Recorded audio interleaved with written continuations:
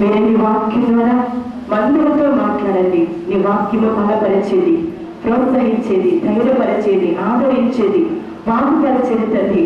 నీ వాక్యము వెలిగించేది తండ్రి నీ వాక్యం ద్వారా నేను ప్రతి ఒక్కరి జీవితంలో పరిశుద్ధాత్మడ మీరు నీ కార్యాన్ని జరిగించి మహిమ పొందమని ఏస్తున్నామని అడిగి వేడుకొచ్చినాం తండ్రి మీరందరూ ఎవరు నమ్ముకున్నారు? ఎవరు? యేసు. హల్లెలూయా. హల్లెలూయా. యేసు అనే నామం ఎంతో శ్రేష్టమైన నామం. ఉన్నతమైన నామం. హల్లెలూయా. ఎందుకు యేసుక్రీస్తు నమ్ముకున్నాం చాలా మంది దేవుడు ఉన్నారు కదా. వాళ్ళందరినీ విడిచిపెట్టి ఎందుకు యేసు ప్రభుని నమ్ముకున్నారు? అప్పులు పోతాయనా? రోగం పోతుందనా? కష్టాలు పోతాయనా? అందుకే నమ్ముకున్నారు. యేసు ప్రభుని ఎందుకు నమ్ముకోవాలంటే పరలోక రాజ్యంలో ప్రవేశించడానికి. హల్లెలూయా యేసు ద్వారా తప్ప ఇక ఎవ్వరి ద్వారా కూడా పరలోక రాజ్యములో పుణ్యలోకములో స్వర్గలోకములోనికి ప్రవేశించలేము. హల్లెలూయా అందుకే యేసు చెప్తారు నేనే మార్గము సత్యము జీవము. హల్లెలూయా ఎవరైతే యేసు ప్రభుని సొంత రక్షకునిగా అంగీకరిస్తారో ఎవరైతే బాప్తిస్వము తీసుకుంటారో ఎవరైతే మందిరానికి వచ్చి దేవుని యొక్క వాక్యానుసారంగా నడుస్తారో వాళ్ళే నిత్య జీవరాజ్యంలో ప్రవేశిస్తారు. హరేలుయ హల్లెలూయా! ఎంతమంది అయితే దేవుని అంగీకరించారో యేసు ప్రభు దేవుడని విశ్వసించారో వాళ్ళందరూ ఏం చేయాలంటే బాప్తిస్వము తీసుకోవాలి మొట్టమొదటిగా. హరేలుయ బాప్తిస్వం ఎప్పుడైతే తీసుకున్నామో అప్పటి వరకు కూడా బాప్తిజం తీసుకున్నంత సేపు మనం ఎవరి చేతిలో ఉంటున్నామంటే సాతాని చేతుల్లో ఉంటున్నాం. ఎప్పుడైతే బాప్తిజం తీసుకున్నామో ఎవరి చేతిలోకి వచ్చేస్తున్నామంటే ఏసే చేతిలోకి వచ్చేస్తున్నాము హల్లెలూయా! బాప్తిసం తీసుకోకుండా ఉన్నంత సేపు సాతానికి బిడలుగా ఉంటున్నాము. బాప్తిజం తీసుకున్న తర్వాత ఎవరి బిడలుగా మారిపోతున్నామంటే ఏసు బిడ్డలుగా మారిపోతున్నాము. హల్లెలూయా! ఆ, తీసుకోవడం అంటే యవనస్తులు అయితే పెళ్ళికి బాప్తిజం తీసుకుంటారని లేకపోతే అనుకున్నది జరిగిన తర్వాత బాప్తిసం తీసుకుంటారని ఇలా చాలా మంది దేవుడు అంగీకరించిన తర్వాత మందిరానికి వస్తారు కానుకలు ఇస్తారు దేవుని కొరకు అనేకమైన కార్యాలు చేస్తారు కానీ బాప్తిసం తీసుకోవడం అంటే ఏమైపోతారు? వెనక్కి వెళ్ళిపోతా ఉంటారు. హల్లెలూయా. కానీ దేవుని రాకడ చాలా సమీపంగా ఉంది. మన పోకడ ఎప్పుడో తెలియదు దేవుని యొక్క రాకడ ఎప్పుడో తెలియని దినాలలో ఉన్నాం. చూడండి నేను మాట్లాడుతున్న ఈ మైక్ గ్యారంటీ ఉంది. ఈ ఫ్యాన్ గ్యారంటీ ఉంది. ఈ లైట్ గ్యారంటీ ఉంది. కానీ మన ప్రాణానికి గ్యారంటీలు వారంటీలు లేవు. హల్లెలూయా హల్లెలూయా ఇలా వాక్యం చెప్తా ఉన్నప్పుడు చాలు నువ్వు చేసిన సేవ చాలు వచ్చే అని వేసి పిలిస్తే నేను ఇప్పుడు ఈ క్షణాన వెళ్ళిపోవలసిందే. హల్లెలూయా ఏసయ్యా ఉండు ఉండు ఇంకా నేను చాలా చెయ్యాలి చాలా చెయ్యాలి ఉండు ఉండు అప్పుడే రాను అంటే మరణము ఆగేది కాదు. హల్లెలూయా. హల్లెలూయా. ఈ క్షణాల దేవుడు రమ్మంటే లేకపోతే ఈ క్షణాల దేవుడి రాకడ వస్తే బాప్తిస్వం తీసుకుని వాళ్ళు అడుగుతున్నారు మీ ఆత్మలు ఎక్కడికి వెళ్ళిపోతాయి? ప్రతి వారము దేవుడి మందిరానికి వచ్చినంత మాత్రాన దేవుడి రాజ్యంలో మనము ప్రవేశించలేము. నువ్వెవరువో నాకు తెలియదు ఏమంటారు? వెళ్ళిపో. హల్లెలూయా. కాబట్టి బాప్తిజం తీసుకొని వారిని నేను హెచ్చరిస్తా ఉన్నాను. మీ పోకడ ఎప్పుడో తెలియదు దేవుని రాక ఎప్పుడో తెలియదు అని మీరు ఏం చేయాలి? బాప్తిజం తీసుకోవాలి. హల్లెలూయా. నేను అనంతపల్లి మీటింగ్స్కి వెళ్ళాను. మరి ఆ మీటింగ్ ముందు రోజునే నేను వెళ్ళాను. మీటింగ్స్ ఏర్పాట్లు అన్ని గ్రౌండ్లో జరిగినాయి. ఆ గ్రౌండ్కి ఆనుకుని ఒక షాప్ ఉంది. ఆ షాప్ యజమాని విలువలు కొనుక్కుని బస్తాలు బస్తాలు మరి ఆ షాప్ బయట వేశాడు. మరి అది అమ్ముకుని వ్యాపారం చేయాలనుకున్నాడు. అయితే లోపల ప్లేస్ లేక బయట వేసుకుని ఎవరన్నా పట్టుకెళ్ళిపోతారని చెప్పేసి ఆ రాత్రి ఆ బయటే మంచి వేసుకుని పడుకున్నాడు. పడుకున్న తర్వాత నిద్దట్లో మరి ఆ కాళ్ళతో ఆ బస్తాలు తన్నాడో తెలియదు అవి జారిపోయినా తెలియదు ఒక్కొక్క బస్తా ఒక్కొక్క బస్తా ఒక్కొక్క బస్తా వచ్చి అది మీద పడిపోయింది. ఒక్కొక్క బస్తా వంద కేజీలు బొమ్మ అయితే అతని మీద అంతా పడిపోయిన తర్వాత ఉదయకాలం లేచి అక్కడ ఏదో నూనె ఆడించుకుందామని ఒక స్త్రీ వచ్చింది. చూసేసరికి అక్కడ ఎవరు కనిపించట్లేదు. ఆ బస్తాల మధ్యలో ఒక కాలు కనిపిస్తూ ఉంది. కాలు కనిపిస్తా ఉంటే అయ్యో ఏంటి అని చెప్పి చుట్టుపక్కల పిలిస్తే ఆ రాత్రి కాల సమయంలో బస్తాలు పడి ఆ వ్యక్తి అక్కడే మరణించాడు తల్లిదండ్రులకి ఒకే ఒక కుమారుడు. వివాహము కూడా కాలేదు. ఇరవై మూడు ఇరవై రెండు సంవత్సరాలు. వ్యాపారం చేసుకుని సుఖముగా ఉందాము మంచిగా సంపాదించుకుని వివాహం చేసుకుందాము ఒక్కగానో కుమార్కి ఘనమైన రీతిలో వివాహము చేయాలని తల్లిదండ్రులు ఎంతో ఎన్నో కళలు కన్నారు కానీ ఆ రాత్రికాల సమయంలో మూడు గంటల ప్రాంతంలో ఆ నాన్నగారు ఫోన్ చేసి మాట్లాడారంట. వేరే ఊర్లో ఉంటారు మూడు గంటల సమయంలో ఎప్పుడు ఫోన్ చేయడం మాట్లాడు కానీ ఎందుకో మాట్లాడాలని అనిపించి మూడు గంటల సమయంలో మాట్లాడారు. తెల్లారేసరికి చావు కబురు తల్లిదండ్రులకు అందింది ఎంతో విలపిస్తాను. చూడండి ఒక్కగానే ఒక కుమారుడు చనిపోతే ఆ తల్లిదండ్రుల వేదన. ఆ తల్లిదండ్రులు కాదు అక్కడికి వచ్చిన వారు కూడా వాళ్ళు వినిపిస్తున్న విధానాన్ని చూసి ఎవరు కూడా తట్టుకోలేకపోయారు. హల్లెలూయా! హల్లెలూయా! కాబట్టి మన పోకడి ఎప్పుడో తెలియదు దేవుని రాకడి ఎప్పుడో తెలియదు కాబట్టి మనము ఎప్పుడు కూడా బాప్తీసానికి ఆలస్యము చేయకూడదు. హల్లెలూయా! మనమందరం ఎందుకు నమ్ముకోవాలి అంటే అప్పులు పోతాయని కాదు రోగాలు పోతాయని కాదు కష్టాలు పోతాయని కాదు. అవి ఈ లోకంలో ఉన్నంత కాలం కష్టాలు వస్తాయి పోతాయి రోగాలు వస్తాయి పోతాయి కానీ నిత్య జీవం అనేది ఈ లోకంలో ఎవ్వరు ఏ దేవుడు కూడా ఇవ్వలేడు హల్లెలూయా ఏ మనుషుని ద్వారా కూడా సంపాదించుకోలేము ఈ లోకంలో ధనము ఉండొచ్చు ఆస్తి ఉండొచ్చు అంతస్తులు ఉండవచ్చు ఎంతో హుందాగా ఉండవచ్చు కానీ నిత్య జీవం అనేది ఎవరి ద్వారా వస్తుందంటే ఒక్క యేసుక్రీస్తు ద్వారానే వస్తుంది హల్లెలూయా హల్లెలూయా యేసుక్రీస్తు సొంత రక్షకునిగా అంగీకరించి బాప్తిసం తీసుకుని దేవుడి మందిరానికి వచ్చి దేవుని యొక్క వాక్యానుసారంగా జీవిస్తే కనుక దేవుడు రాకడ వచ్చిన మన పోకడ వచ్చిన యుగ యుగాలు తరతరాలు కూడా ఆయనతో పాటు జీవిస్తాము. హల్లెలూయా! హల్లెలూయా! ఈ దినాన నేను వాక్యము చెప్పబో ఏ వాక్యం చెప్పబోతున్నాను అంటే జయ జీవితం గురించి చెప్పబోతున్నాను. ఏంటంటే జయ జీవితం. ఈ లోకంలో మనం క్రీస్తులో చల్లించిన తర్వాత క్రీస్తుని ఎరిగిన తర్వాత బాప్తిసం తీసుకున్న తర్వాత అసలైన మార్గంలో మనము ప్రవేశిస్తున్నాం ని- నిత్య రాజ్యానికి చేరే మార్గంలో ప్రవేశించాం ఎప్పుడైతే ఆ మార్గంలోనికి ప్రవేశించామో అడుగు పెట్టామో వెంటనే మనకి ఏమి ఎదురవుతుందంటే పోరాటం అనేది ఎదురవుతా ఉంటది. హల్లెలూయా! హల్లెలూయా! చాలా మంది అంటారు చాలా భక్తి చేస్తున్నారు కానీ కష్టాలే వస్తున్నాయి శ్రమలే వస్తున్నాయి శోధన నాకే వస్తున్నాయి నా ఇంటి త- పక్కన వాళ్ళు భక్తి చేయట్లేదు ఏదో లోకానుసారంగా జీవిస్తున్నారు వాళ్ళు పై పైకి ఎదిగిపోతూ ఉన్నారు నేను ఇంకా ఇంతగా వెళ్ళిపోతున్నారు దిగజారిపోతున్నారు అంటే నువ్వు అసలైన ట్రాక్లో ఉన్నట్టు హల్లెలూయా హల్లెలూయా పోరాటం లేకపోతే నువ్వు ట్రాక్లో లేనట్టు పోరాటం ఉంటేనే ట్రాక్లో ఉన్నట్టు హల్లెలూయా పందెము జరిగితేనే పందెపు రంగంలో అడుగు పెట్టిన వాళ్ళకే జయ అపజయాలనేది వస్తుంది మనం ఇప్పుడు ఎక్కడ ఉన్నామండి పందెపు రంగంలో ఉన్నాము. ప్రయాణంలో ఉన్నాము. పరలోక యాత్రలో మనము ఉన్నాము. ఈ యాత్రలో దేవుడి దగ్గరికి ప్రవేశించకుండా దేవుడి రాజ్యానికి ప్రవేశించకుండా అడుగడుగున అడుగడుగున అడుగడుగున అనేక విధమైన అనేక విధములైన అడ్డంకులు వస్తాయి. వాటన్నిటిని జయించుకుని మనం ముందుకు వెళ్ళినప్పుడే నిత్య రాజ్యాన్ని ప్రవేశించగలము. హల్లెలూయా! హల్లెలూయా! పరలోక రాజ్యము చాలా అంటే అనేకమైన మెట్లు ఉన్నాయి చాలా మంది అనుకుంటారు బాప్తిజం తీసుకుని దేవుడి మందిరానికి వస్తే పరలోకం వెళ్ళిపోతారు అంటారు కానీ పరలోక రాజ్యం వెళ్ళాలంటే ఒక్కొక్క మెట్టు ఒక్కొక్క మెట్టు ఒక్కొక్క మెట్టు ఒక్కొక్క మెట్టు ఎక్కాలి బాప్తిజం అనేది మొట్టమొదటి స్థానంలోనే మీరు ఉన్నారు. కానీ పరలోక రాజ్యం చేరాలంటే చాలా మెట్లు ఎక్కాలి. ఆ మెట్లు ఎక్కినప్పుడు సాధారణ ఏం చేస్తారంటే నిన్ను ఎక్కకుండా వెనకకి లాగుతా లాగుతా ఉంటాడు. మనం ఏం చేయాలి? ఒక్కొక్కటి ఒక్కొక్కటి ఒక్కొక్కటి జయించి దేవుని దగ్గరికి వెళ్ళాలి.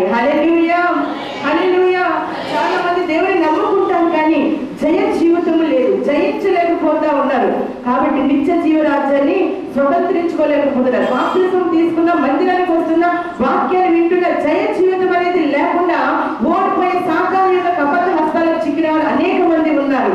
దేవుని యొక్క మందిరానికి వచ్చినంత మాత్రాన పరలోక రాజ్యంలోనికి ప్రవేశిస్తామా అనేది చాలా అవరుదు హలేయ ఎప్పుడు మనం ప్రవేశిస్తామంటే ఇవన్నీ జయించినప్పుడే పరలోక రాజ్యంలోనికి ప్రవేశిస్తాము. అందుకే ప్రకటన గ్రంథము మూడో అధ్యాయము ఇరవై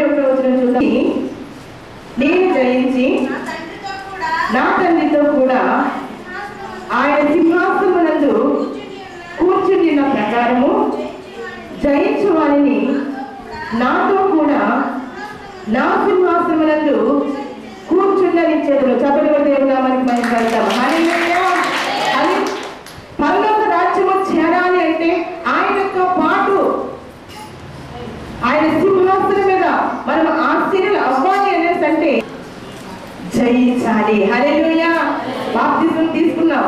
యొక్క మార్గంలోకి వచ్చాం. కానీ మార్గంలోకి వచ్చిన తర్వాత చాలా శోధనలు వస్తాయి. వాటిని జయించినప్పుడే నాతో కూడా ఎక్కడ ఉంటారు? తండ్రితో పాటు ఆయన సింహాసనం మీద కూర్చుంటాము. హల్లెలూయా. ఇక్కడ ఒక మాట నేను జయించి నా తండ్రితో కూడా ఎక్కడున్నారని సింహాసనం మీద ఉన్నాడు. హల్లెలూయా. అంటే నేను జయించండి ఈ మాట ఎవరు చెప్తున్నారు యేసు అంటున్నారు నేను జయించాలి కనుక మీరు కూడా జయిస్తే మీరు నేను తండ్రి అందరం ఎక్కడ ఉంటామంటే సింహాసనం మీద ఉంటాము. హల్లెలూయా. అంటే నేను జయించాలి అంటే యేసు ప్రభు కూడా ఈ లోకంలోకి వచ్చిన తర్వాత అనేకమైన పోరాటాలు వచ్చాయి. ఎందుకంటే ఆయన శరీరంతో ఉన్నాడు కనుక ఆయన ఈ లోకంలో శరీర రీతిగా ఉన్నప్పుడు అనేకమైన శోధనలు వచ్చినప్పుడు ఆయన కూడా ఏం చేశారంటే తండ్రి ఇచ్చిన శక్తితో వాటినన్నింటినీ కూడా జయించాడు. హల్లెలూయా! హల్లెలూయా! మనం ఏం చేయాలంటే జయ జీవితాన్ని కలిగి ఉండాలి. ఏమి జయించాలి? మొదటి యోహాను పత్రిక ఐదు అధ్యాయము నాలుగు ఐదు వచ్చినారు దేవుని మూలముగా పుట్టిన వారందరూ లోకమును జయించుదురు. లోకమును జయించిన విజయము మన విశ్వాసమే. యేసు దేవుని కుమారుడని నమ్మవాడు తప్ప లోకమును జయించువాడు మరి ఎవడు? హల్లెలూయా! హల్లెలూయా! మనం దేవుని నమ్ముకున్న తర్వాత మనం దేనిని జయించాలి అనేది ఇక్కడ రాయబడి ఉన్నది.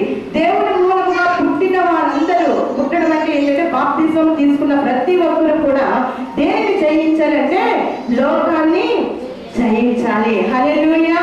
మొదటి యోహాను పత్రిక రెండో అధ్యాయం పదహారు ఉన్నదంతయు? అనగా శరీరాశయు నేత్రాశయు జీవ కుటుంబమును తండ్రి వలన పుట్టినవి కావు.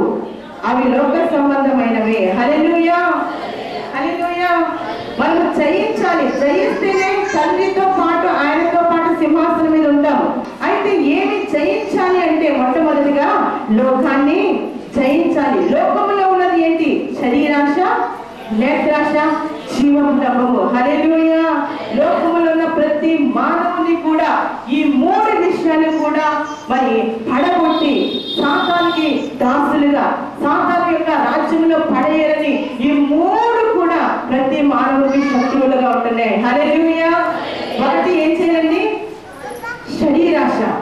రెండోది నేత్రాశ మూడోది జీవకుటము ఈ మూడు మనము జయించినట్లయితే తల్లి యొక్క సింహాసనం మీద మనము కూర్చుంటాము. హల్లెలూయా. హల్లెలూయా. మత్తి సువార్త నాలుగో అధ్యాయము ఒకటి నుంచి పదకొండు వచ్చినారు మనం చూసుకున్నట్లయితే యేసు ప్రభు ఈ లోకంలో వచ్చిన తరువాత ఆయన నలభై దినాలు ఉపవాసం ఉండి ప్రార్థించారు. ఆ నలభై దినాలు ఉపవాసం ఉండి ప్రార్థించినప్పుడు దేవుడి దగ్గరికి ఎవరు వచ్చారంటే అపవాది సాతాను వచ్చాడు సాతాను వచ్చి మూడు శోధనలు అక్కడ యేసు ప్రభు పెట్టాడు. ఆ మూడు శోధనని కూడా ఆయన వాక్యము ద్వారా జయించాడు. హరలుయ హరలుయ సాతానికి కూడా మనకంటే ఎక్కువ వాక్యము తెలుసు. ఎందుకంటే మరి లూసిఫర్ అనే ఆ, ముందు సాతాను కాదు లూసిఫర్ అనే దేవదూత. ఆ దేవదూతకి దేవుని యొక్క వాక్యము తెలుసు. దేవుడు ఎన్నో అధికారాలు ఇచ్చాడు ముఖ్యంగా. దేవుని ఆరాధించే ఆ, మరి ఆ, ఆ తలాంతులు కూడా దేవుడు ఇచ్చాడు. అయితే సాతాను గర్వించడం బట్టి ఆ స్థానం నుంచి పడగొట్టబడింది. అప్పుడే సాతానుగా మారింది. హల్లెలూయా! హల్లెలూయా! మన దేవుడు ఒకసారి ఇచ్చిన తర్వాత మళ్ళీ అది తీసుకోడు. కానీ కాబట్టి ఆ సాతాను ఏం చేస్తుందంటే ఆ వాక్యము ద్వారా శోధిస్తా ఉంది ఇక్కడ యేసుప్రభు ఉపవాసం ఉన్న తర్వాత నలభై దినాలు ఉపవాసం తర్వాత ఆ శోధకుడు వచ్చి మూడో వచనంలో చూద్దాం. ఆ శోధకుడు వచ్చి ఆ శోధకుడు ఆయన ఎదురుకు వచ్చి నేను దేవుని కుమారుడు అయితే ఈ రాను రొట్టెల రోజు ఆజ్ఞాపించమను. అందుకు ఆయన మనుషుడు రొట్టె మాత్రము కాదు కానీ దేవుని నోటి నుండి వచ్చు ప్రతి మాట వలన జీవించును హల్లెలూయా మొట్టమొదటిగా సాతానుడు దేని ద్వారా శోధిస్తున్నాడంటే శరీర ఆశలు అక్కడ బాగా ఆకలితో ఉన్నాడు నలభై దినాలు ఉపవాసం ఉండి నలభై దినాలు ఉపవాసం మనం ఉపవాసం ఉన్న తర్వాత మనకి ఇష్టమైనది మన కళ్ళ ముందు కనిపించింది అనుకోండి ఏం చేస్తాం అర్థమా ఒక్క నిమిషం కూడా ఆగ వెంటనే దాన్ని తినడానికి ప్రయత్నం చేస్తాం హల్లెలూయ ఉపవాసం ఉన్నాడు మంచి ఆకలితో ఉన్నారు ఉపవాసం ఆ ఉపవాసంలో ప్రార్థనలో వాక్యంలో ఉంటాం అప్పుడు ఆకలి తప్పికలు అనేది తెలియదని ముగిసిన వెంటనే ఎక్కలేని ఆకలి పుట్టుకొస్తుంది. కాబట్టి యేసు ప్రభు కూడా ఎంత ఆకలిగా ఉన్నప్పుడు సాతాను వచ్చి అంటున్నాడు ఈ రాళ్ళు నీకు శక్తి ఉంది కదా ఈ రాళ్ళు రొట్టెల గంటలు ఆజ్ఞాపించి తినొచ్చు కదా ఎందుకు అలా ఆకలితో బాధపడుతున్నావు? అని ఏం చేస్తున్నాడండి? ఉచితమైన సహాయిస్తాడు ఇస్తాడు. మనకు కూడా చాలా మంది ఉచిత సలహాలు ఇస్తారు. ఆ సలహాలు మంచివో చెడువో లేకపోతే దేవునికి ఇష్టకరమైనవో కావో మనము చాలా గుర్తెరగాలి. సాతాను చాలా కుయుక్తిగా దేవుని యొక్క మార్గం నుంచి మనల్ని పక్కకి నెట్టి వేయాలని చూస్తాడు. హల్లెలూయా. చూడకొచ్చిందా ప్రార్థన చేశారు అయ్యగారు తగ్గలేదా? ఉపవాసం ఉన్నావా? తగ్గలేదా? అయితే నేను ఒక చెప్తా చేస్తావా ఆ చెప్పు చెప్పు. మనం ఏమంటారు చెప్పు చెప్పు వెంటనే తగ్గిపోతారు చెప్పు. అంటే నేను అక్కడికి వెళ్ళి నేను ఆ తాళితో తీసుకొచ్చి కడతాను వెంటనే తగ్గిపోద్ది అంటే ఏమనిపిస్తుంది మనకి ఏమనిపిస్తుంది ఎంతో ప్రార్థన చేశాను హైగా ప్రార్థన చేశాను ఉపవాసం ప్రార్థన చేశాను ఎన్నో డాక్టర్ దగ్గరికి వెళ్ళాను కానీ తగ్గలేదు వెంటనే తీసుకొచ్చి అది కడతానని చెప్పే సరే సరే ఇచ్చి నువ్వు రావట్లేదు నేనే వెళ్ళి తర్వాత మళ్ళీ పోతే వస్తే పాస్టర్ గారు చూస్తే దాంట్లో ఏమీ లేదండి. ఇంకా దాని ద్వారా అనేకమైన చెయ్యాలు మన కుటుంబంలోకి ప్రవేశిస్తాయి. హల్లెలూయా హల్లెలూయా. జ్వరం తగ్గించడానికి ఈ దేవుడు చేతకాని వాడా? ఆ దగ్గరికి వెళ్ళడానికి. ఈ దేవుడికి చేతనవుదా? హల్లెలూయా ఇలాంటి ఉచితమైన సలహాలు ఇచ్చి చాలా మంది ఏం చేస్తారంటే దేవుడిలో నుంచి మనల్ని దూరం చేస్తూ ఉంటాడు సాధారణ వచ్చి దేవుడి దగ్గరికి రాళ్ళు రొట్టెలు అన్నట్లు ఆజ్ఞాపించాడు నిజంగా రాళ్ళు రొట్టెలైన రొట్టెలు చేయగల శక్తి మాత్రం మన దేవుడు. ఎందుకంటే నీటిని ద్రాక్షరసముగా మార్చిన దేవుడు రాళ్ళు రొట్టెలుగా చేయగలడు. ఏ సాధన నువ్వు చెప్తున్నా నేను చేయలేను అనుకుంటున్నావా చూడు నా శక్తి అంటే నీకు చూపిస్తానని అనలేదు. ఏమన్నాడు దేవుడు? సాధనాన్ని గద్దించాడు వాడి మాటకు లోపడలేదు నువ్వు ఈ రాళ్ళ ఈ రొట్టెలు చేసుకుని జీవిస్తానన్నాడు మనుష్యుడు రొట్టె వలన కాదు దేవుని నోట నుండి వచ్చే ప్రతి మాట వలన జీవించును. హల్లెలూయా! సాతాను నోటి మాట కాదు. ఏ సాతాన నీ నోటి మాట నేను వింటే కనుక తండ్రి యొక్క చిత్తమునందు నేను వెళ్ళిపోతాను కానీ నా దేవుని మాట వింటే కనుక నేను యుగ యుగాలు తరతరాలు కూడా జీవిస్తాను. హల్లెలూయా! దేవుడు సాతాను మాటకి లోపడలేదు.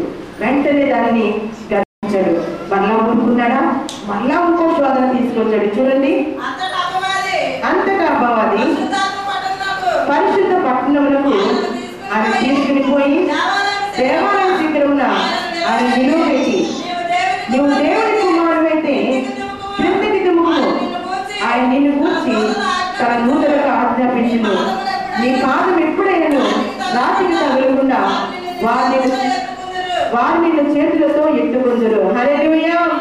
మళ్ళా అపవాది ఏం చేస్తున్నాడంటే మిగిలిన ఎత్తైన ఒక పట్టణమునకు తీసుకుని పోయే దేవాలయ శిఖరం మీద నిలవబెట్టి ఏం చేస్తాడు?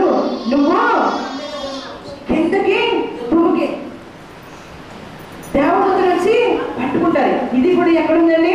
వాక్యం ఉన్నది కీర్తన తొంభై ఒకటి ఈ ఇంటికి తర్వాత ఉంటుంది. కీర్తన తొంభై ఒకటి పదకొండు పన్నెండు వచనాలు ఉంటాయి. దేవ వచ్చి పట్టుకుంటారు కిందకు తుమ్ముకే అనే సంగతి అప్పుడు కూడా దేవుడు ఏం చేశాడు? ప్రభుని నీ దేవుడు నువ్వు శోధింపవలదని మరి యొక్క చోట వ్రాయబడి కదని వారితో చెప్పాను. హలెలుయా హలెలుయా మిగులు ఎత్తైన శిఖరం మీదకి దేవాలయం మీదకి తీసుకుని వెళ్ళాడంటే ఇది దేనికి సాదృశ్యం కదండి జీవపు డంపము హలెలుయా హలెలుయా చాలా మంది చాలా బీద స్థితి నుంచి వాళ్ళ ముందు సంపన్న స్థితికి వచ్చారనుకోండి వాళ్ళ నడక ఎలా ఉంటుంది? వాళ్ళ చూపు ఎలా ఉంటుంది? వాళ్ళ క్రియలు ఎలా ఉంటాయి? హల్లెలూయా! హల్లెలూయా! నేను కాబట్టి నేనే సంపాదించాను నా సంపాదన ఈ టీవీ ఎవరు సంపాదించారు? నేను. నేనే. నేనే. నేనే. అది ఏంటి? గర్వం హల్లెలూయా! హల్లెలూయా! నేను అన్నది ఇంగ్లీష్లో ఐ ఎలా ఉంటుంది? ఎలా ఉంటుందండి?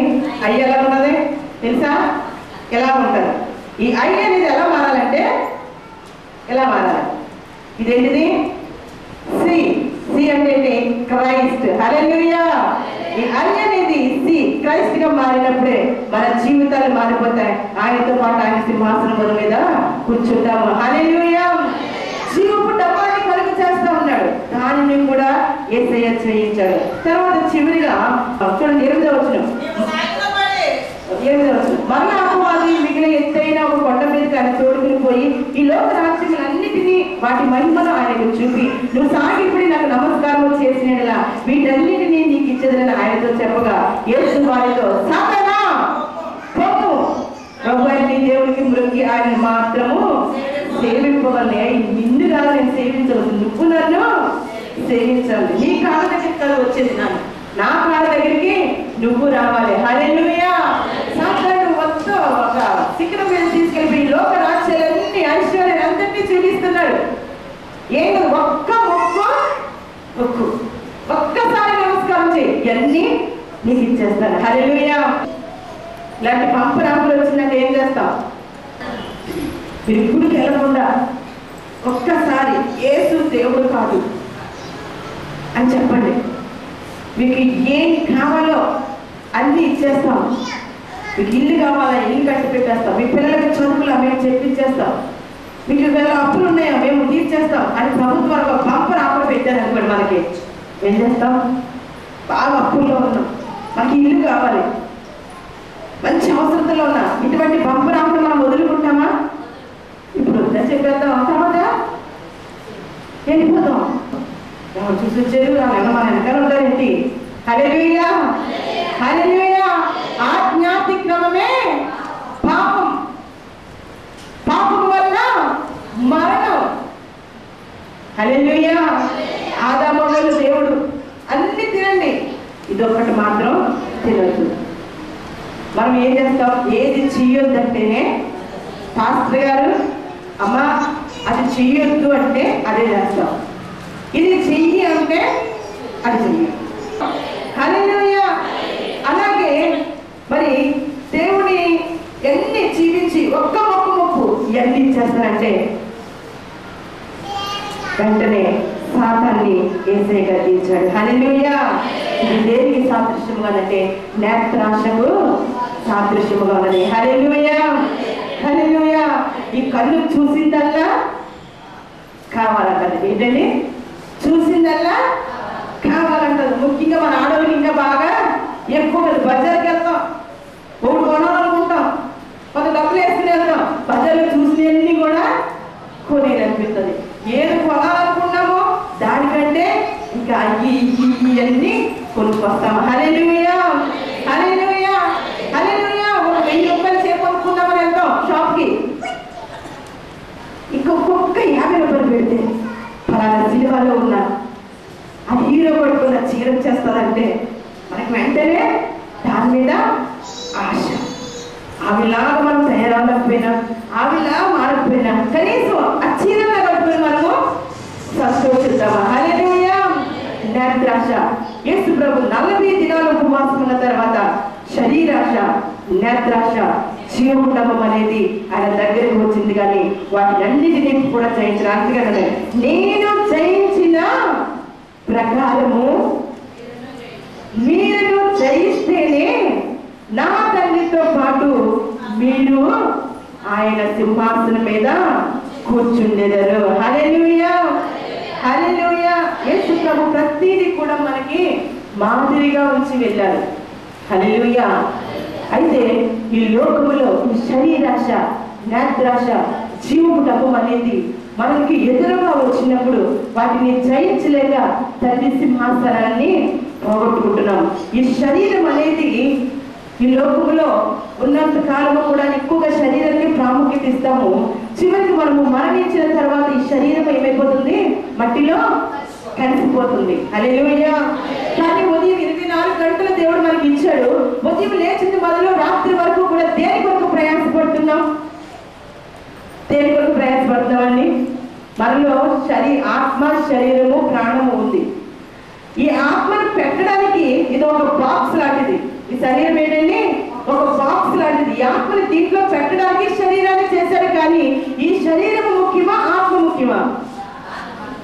ముఖ్యం హరియ చనిపోయిన తర్వాత మన ఆత్మ దేవుని దగ్గరికి వెళ్తారు కానీ శరీరము దేవుని దగ్గరికి వెళ్ళదు. అయితే మనం శరీరముకు ప్రాముఖ్యత ఇస్తున్నామా? ఆత్మకు ప్రాముఖ్యత ఇస్తున్నామా?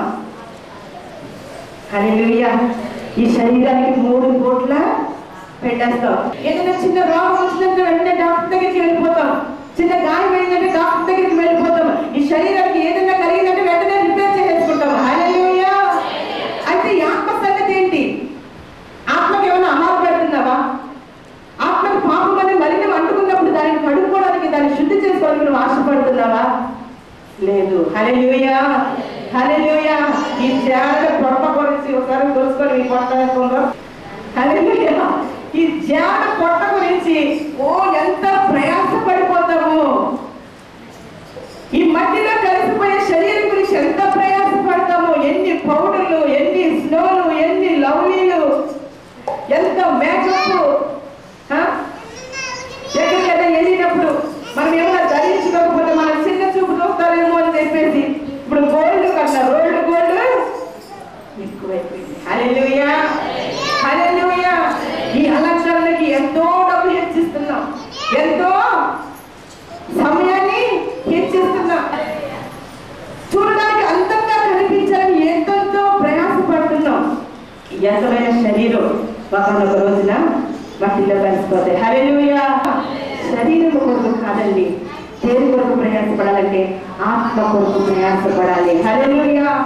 ఈ ఆత్మకు ఆహారము పెట్టాలి. ప్రతి దినము వాక్యమనే ఆహారము పెట్టాలి. దేవుని సన్నిధిలో ప్రార్థన చేయాలి. దేవుని ఎక్కువగా మనము స్థుతించాలి. ప్రతి క్రైస్తవుడు ప్రతి రోజు మూడు పనులు చేయాలి. ప్రతి కాలం లేచి దేవుని స్థుతించాలి. వాక్యము చదవాలి. ప్రార్థన చేయాలి. నీవు ప్రార్థన చేయకుండా నీ గదిలోంచి బయటికి రాకూడదు. ఏ యొక్క స్వరాన్ని వినకుండా ఏ మానవుని స్వరము వినకూడదు. ఏ యొక్క స్వరూప దర్శనం చూడకుండా ఏ మనిషిని యొక్క స్వరూప దర్శనాన్ని చూడకూడదు. హల్లెలూయా! హల్లెలూయా! కొంతమంది ఇంట్లో నుంచి బయటికి రాగానే ఎవరు మమ్మల్ని చూసారనుకోండి ఆ రోజు ఏమైనా చెడు జరిగింది అనుకోండి ఏమంటారు మొత్తం వెళ్ళేసి చర్మం చూశారు. ఈ రోజంతా హల్లెలూయా! కొంతమంది చూడండి ఊర్లు వెళ్ళినప్పుడు ఎదురు రమ్మంటారు ఎదురు వచ్చినప్పుడు మధ్య జరిగింది? ఇప్పుడు చెడు జరగలేదా? హల్లెలూయా! ఈ లోక ఆచారాలు అవన్నీ మనము విడిచిపెట్టాలి ఎదురు కాదు.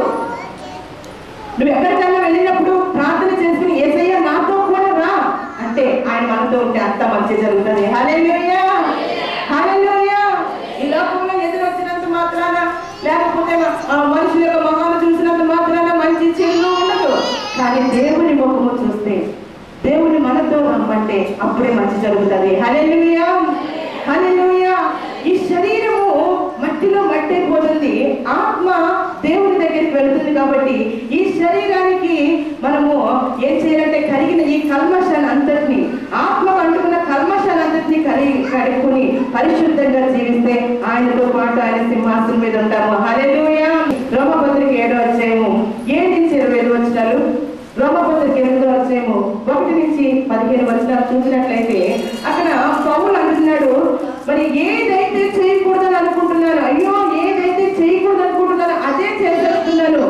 అది ఎవరు చేస్తారంటే నా శరీరంలో ఉన్న పాప నియమం అనేది ఏం చేస్తాను ఏదైతే చేయకూడదు అనుకుంటుందో అదే చేసేస్తాను వినిపిస్తా ఉన్నాడు. హల్లెలూయా! హల్లెలూయా! వాక్యం వింటాం. బాప్తిజం గురించి చెప్పారు ఇప్పుడు ఏమనిపిస్తుంది? అమ్మ బాబాయ్ నేను చచ్చిపోతే నరకానికి వెళ్ళిపోతానేమో. బాప్తిజం తీసుకోవాలి అని ఇక్కడ అనిపించేస్తుంది. ఇంటికి వెళ్ళిన తర్వాత? ఆయన ఏమంటాడు భలేగా ఉంది కదా అని అనిపిస్తుంది హల్లెలూయా! హల్లెలూయా! ఏదైతే చేయాలనుకున్నాం బాగా ప్రార్థన చేయాలనుకుంటాం వాక్యం చదవాలనుకుంటాం భక్తిగా ఉండాలనుకుంటాం కానీ ఉండలేకపోతున్నాం ఎందుకంటే ఈ శరీరంలో నా పాప నియమము పాప నైజం అనేది బాప్తిసం తీసుకుని పాటు పెట్టినా కూడా మరలా అదేమవుతుంది మొలకెత్తుతా ఉంది. హల్లెలూయా హల్లెలూయా పౌలు కూడా అన్నాడు ఏదైతే చేయకూడదు అనుకుంటున్నాను ఎక్కడికైతే వెళ్ళకూడదు అంటున్నాను దేనినైతే చూడకూడదు అనుకుంటున్నాను ఏదైతే మాట్లాడకూడదు అనుకున్నా అదే చేసేస్తున్నారు అయ్యో దీని నుంచి ఎవరు విడిపిస్తారు అని విడిపిస్తా ఉన్నాడు హల్లెలూయా దానికి జవాబు ఎక్కడ దొరికిందంటే రోమపత్రిక ఎనిమిదో అధ్యాయము ఒకటి నుంచి పదిహేను వచనాలు మనం చూసినట్లయితే ఈ పాప నియమము మనల నుంచి తొలగిపోవాలి అంటే దీనిని జయించాలి అంటే ఆత్మ నియమం అనేది మనలోనికి రావాలి హల్లెలూయా అదే పరిశుద్ధాత్మ యొక్క శక్తి. చాలా మంది అంటే లోకన్స్ కానీ బాప్టిస్ట్ కానీ ఇలా పరిశుద్ధాత్మ గురించి భాషల గురించి ఏవేవో చెప్తారు. మరి నేను దాని గురించి అంటే మీరు ఇప్పుడు మీరు పొందుకోవాలని మీ యొక్క దానికి నేను వ్యతిరేకంగా మాట్లాడలేదు. వాటికి ఉన్నదని ఉన్నదని చెప్పుకోవాలి ఎప్పుడైతే పరిశుద్ధాత్మ యొక్క శక్తిని మనము పొందుకున్నామో ఆ పాపాన్ని జయించే శక్తి మనలోనికి వచ్చేస్తుంది. హల్లెలూయా! పరిశుద్ధాత్మ శక్తిని పొందుకున్న తర్వాత మనము పాపము చేయడానికి వెళ్ళినప్పుడు పరిశుద్ధాత్మ యొక్క శక్తి ఏం చేస్తుందంటే అడ్డగిస్తూ ఉంటుంది. హలే ఎనిమిది ఎనిమిది అధ్యాయంలో అదే పౌలు అంటాడు పరిశుద్ధాత్మను పొందుకున్న తర్వాత ఆ పరిశుద్ధాత్మ శక్తి ద్వారా ఈ పాపాన్ని ఏం చేస్తున్నాడంటే జయించగలుగుతున్నాడు. హలే ఆ పరిశుద్ధాత్మ శక్తి ఏం చేస్తుంది? ఇంటికి వెళ్ళిన తర్వాత చదవండి. ఎనిమిది అధ్యాయం ఒకటి నుంచి పదిహేను వచ్చిన వరకు. ఆత్మకి శరీరానికి పోరాడు కలిగినప్పుడు ఈ ఆత్మ ఏం చేస్తుందంటే మనలో కలుగుతున్న శరీర ఇచ్చలను శరీర కోరికలను శరీర క్రియలు ఆత్మ తన శక్తి ద్వారా చంపేస్తా ఉంది. పరిశుద్ధాత్మ యొక్క శక్తి మనలో ఉన్నప్పుడు పాపం అనేది మనకు వచ్చినప్పుడు వెంటనే ఆ శక్తి ద్వారా దానిని జయించగలము. హాలెలుయా హాలెలుయా మరి ఇంటికి వెళ్ళిన తర్వాత చూడండి. గతి పత్రిక ఐదో వచ్చిన పంతొమ్మిదో వచ్చిన చూసినట్టయితే అక్కడ శరీర కార్యాలు ఉన్నాయి వ్యభిచారము దొంగతనము ఆ, హత్యలు అబద్ధాలు ఇవన్నీ కూడా ఎక్కడి నుంచి వస్తున్నాయంటే శరీర కార్యాలు శరీరంలోంచి పుట్టుకుని వస్తున్నాయి. హల్లెలూయా! చాలా మంది దేవుడి మందిరానికి వస్తూ మరి దేవుని యొక్క వాక్యాన్ని వింటూ చాలా మంది ఈ శరీర కార్యాలు ఏదో ఒకటి ఉంటా ఉంటది. ఆ శరీర కార్యాలు అంటే కింద ఉంటది. పరలోక రాజ్యంలో మనము ప్రవేశించలేము. హల్లెలూయా! కాబట్టి మనం ఏం చేయాలంటే శరీర కార్యాలను